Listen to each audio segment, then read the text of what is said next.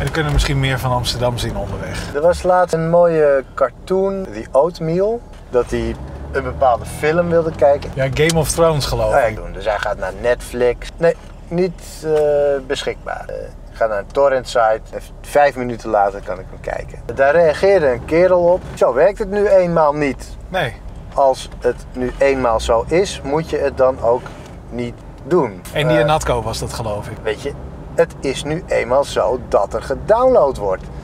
Bied dat dan dus aan. Kan gewoon niet dat iedereen de gevangenis in gaat. Er is een hiaat in het aanbod van eh, de mediaverspreiders. Ja, je kan stemmen met je geld. Dan koop je dan toch gewoon niks. Maar eh, goed, maar dat doen we ook, want we kopen niks en we loaden het down. De wetten worden blijkbaar door industrieën gemaakt. Dat zie je altijd bij industrieën die voorbij gaan. Die gaan dan lopen spartelen.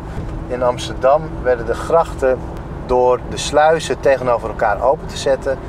eh, spoelde het grachtwater elke dag door. Het schildersgilde reageerde toen van dat, eh, dat willen we niet. Want door die zwaveldampen bleef de verf niet zitten Ah, gasten van de Pirate Bay, ja, ja, ja. die zijn nu begonnen met vissenballs. Je hebt nu 3D-scanners en 3D-printers. Kan een designtafeltje, kan je gewoon uitprinten. Physical Rights Management komt. er zit een soort van merkje in, een, eh, in geld, waardoor scanners het niet doen. Eh, je kan sowieso niet met hout printen, zeg maar. Bijna aangereden. Ja. Leer van de fouten van de muziekindustrie, Ja, rijpatronen, inderdaad, superhandig.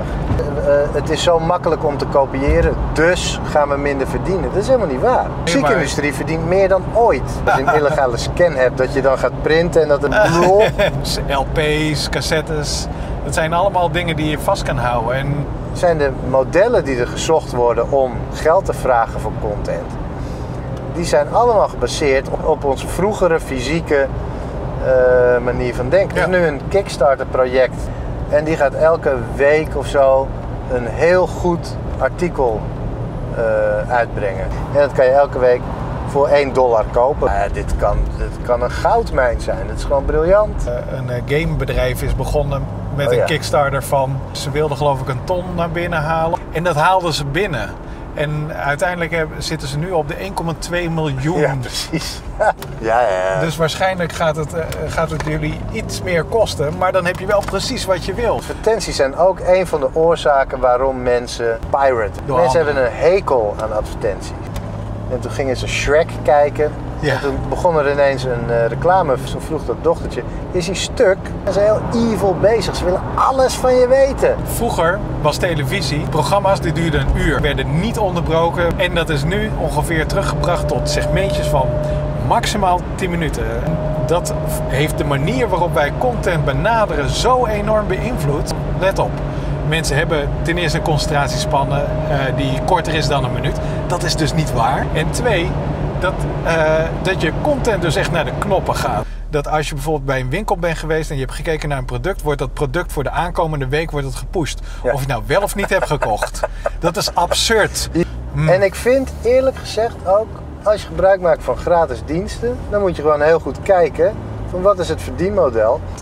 Ik dacht zo van, stel voor dat ik nou betaal voor Ja. mail. Hè, Kan ik dan alle, alle banners uitzetten? Ja. Kijk voor de grap maar eens. De eerste pagina van Google, bijna alleen maar webshops. Als je niet betaalt eh, voor iets, eh, ja, dan mag je ook niet verwachten dat het er blijft. Of dat ze jouw belangen vooraan hebben. Ik vergeet die namen altijd van die, van die webapps.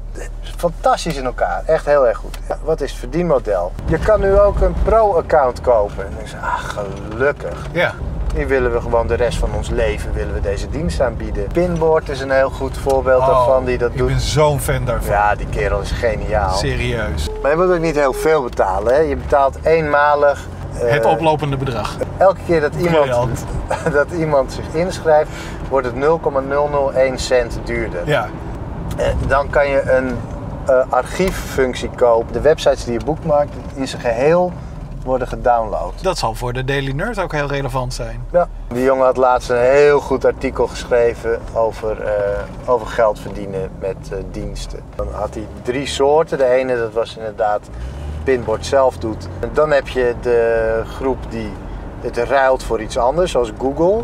En dan heb je de andere en die maken een dienst in de hoop dat iemand het fantastisch vindt en het koopt. In elk geval twee bedrijven die ik heel erg leuk vond. Dat is Flickr en dat is eh, Delicious, die had het model van dat alles gratis is. Ja, hoe heet het? Je moet geld verdienen. Ja, en dat, die, dus dan kan dat je model, uit investeerders halen. Er is gewoon totale inertie in de ontwikkelingen Ja. van een product.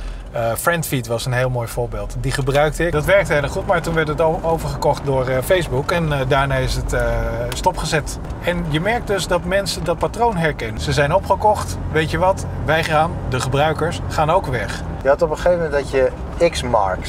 En op een gegeven moment zeiden ze, we stoppen ermee. Ja, want ons verdienmodel eh, werkt niet. Wat? Ik ben hier afhankelijk van, dat kan je toch niet doen? We Ja. vragen er geld voor. En die zijn er toen inderdaad geld voor gaan vragen. En nu bestaan ze nog steeds.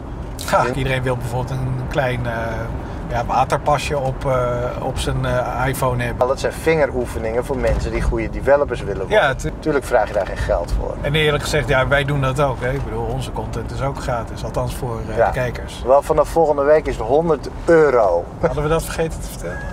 Op de homepage. PayPal is interessant.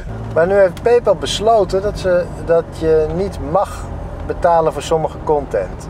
Je mag wel die, doneren aan de, de Ku Klux Klan, maar niet aan Wikileaks. Dat is echt waar. Dat is best heftig. Dat, Ja, dat is ook heftig voor de gebruikers lijkt me. Want die vertrouwen dan PayPal niet meer. Stukjes goud geven aan mensen.